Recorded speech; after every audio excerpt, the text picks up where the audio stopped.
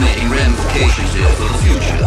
When you introduce genetic material of research quality to a life form such as ours,